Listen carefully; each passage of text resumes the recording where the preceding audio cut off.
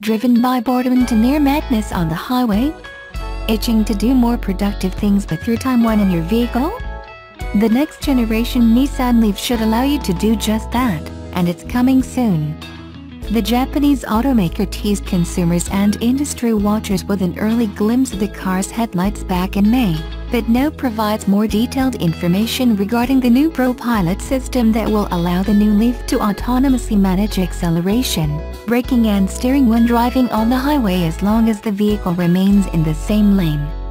For Nissan, the new system represents another big step closer to producing truly self-driving cars.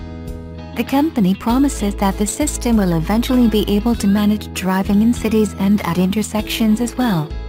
The future Nissan Leaf is scheduled to be introduced later in 2017, and will feature a much more modern and elegant look and offer drivers a maximum range that goes well beyond the current model's 172 kilometers. Between failed attempts to troll Tesla, and the range anxiety associated with electric cars, the Nissan Leaf really doesn't receive the credit it deserves.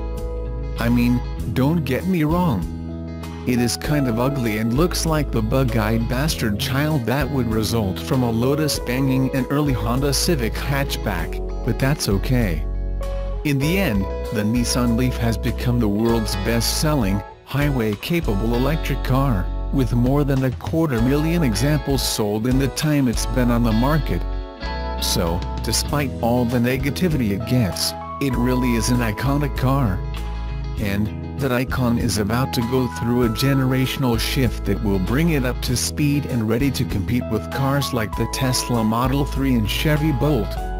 As of now, we have almost no idea of what it will look like outside of a teaser image of the headlight that Nissan released a few months ago, but Nissan has just announced that it will be one of the first models to get its new ProPilot driver assist feature. Details are scant as of this writing, and Nissan has yet to even announce a rough timeframe for the next-gen Leaf's arrival. But if you want an idea of how the ProPilot system works, you can look back to the Piloted Drive 1.0 concept from 2015, which pretty much handled autonomous driving in heavy highway traffic. That's pretty much what the next-gen Leaf will be able to accomplish as well. It should function similarly to that of Tesla's Autopilot, GM's Super Cruise, and Audi's Traffic Jam Assist feature. The question is whether or not you'll feel like you're being driven by a skilled driver as Nissan described it when debuting that aforementioned concept. Nissan hasn't gone so far as to tell us just what kind of hardware it is using to make the semi-autonomous tech work, but the last piloted drive concept was equipped with 12 cameras, 5 radar sensors, 4 laser scanners, and a few ultrasonic sensors. If I had to guess, I would say more advanced versions of this technology will probably be hidden under the skin of the next-gen Leaf, but there's something more important in play here.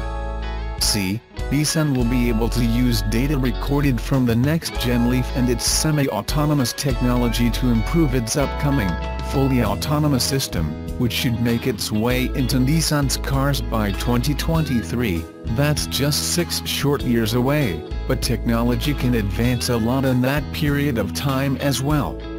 So, the ProPilot software in the next-gen Leaf is the first stage of a few in the automaker's plan to bring autonomous cars to the masses. The real question, however, is whether or not Nissan will bring its fully autonomous tech to customers directly or if it'll follow in Ford's footsteps when it launches its self-driving cars solely for ride-sharing services in 2021. For that, we'll just have to wait, but something tells me Nissan isn't going to fall behind the rest of the big players in the game. For now, there's no date set in stone for the next Gen Leaf's debut, with the official word from Nissan being that it's coming soon. With that in mind, Nissan will likely debut the next Gen Leaf later this year with either SEMA or the Los Angeles Auto Show being the most likely candidates for show appearances before it goes on sale as a 2018 model. Then again, Nissan could host its own event this summer or fall to debut the new Leaf as well, so it's really up in the air at this point.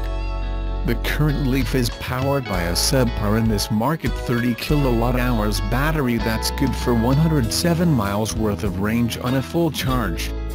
Of course, this wasn't always subpar, but now that other automakers have jumped into the all-electric game, the Leaf is in dire need of replacement. There's no word on how big of a battery the next-gen Leaf will get, but the word is that it'll offer up some 200 miles of range per charge which would point to a battery size around 60 kilowatt-hours or so, depending on the curb weight of the car itself. Based on recent spy shots that we have received, it will also be much more attractive and may even grow a bit. It will still maintain the hatchback look, but it will lose those bug-eyed headlights and will look much more modern than the current model. Check back soon for our speculative review based on the spy shots you've seen in this article. The XE SV Project 8 will be the most powerful road-legal car in Jaguar's history, packing a supercharged 5.0-liter V8, pushing 441 kilowatts to all four wheels. All that power is being transferred via a specially tuned version of the 8-speed ZF Auto which features an all-XE variants built by Jags in-house Special Vehicle Operations, SVO. The Project 8 is a British manufacturer's rocking sequel to the F-Type Project 7. If this sounds like something you would want to add to your garage, you're probably already too late, with Jaguar only building 300 cars, all in left-hand drive. Jaguar hasn't released any performance figures, but you'd be safe to bet it'll sprint to 100 km per hour from a standstill in 3.5 seconds or less. The four-door brawler is angled directly at battling the Porsche 911 GT3 and BMW M4 GTS. The car has been tested and developed on the Nürburgring, with our spy photographers snapping pics of the car just days ahead of its reveal. Dynamic changes over the standard XE are likely to consist of beefed-up brakes, more focused suspension, a faster steering rack, wider tires, and stickier rubber. Oh, and that huge wing hoisted atop the boot. The Project 8 also receives visual tweaks with flared arches, and more aggressive bumper treatments. It's also likely the Project 8 will have gone on a diet, ditching kilos compared to its less powerful brothers. More power and less weight is a tried and true recipe. The car will be revealed at the Goodwood Festival of Speed, 29-6-February 7, 2017, and is rumored to be making a run up Lord March's famed driveway. Something has been going on in the streets of Carlton.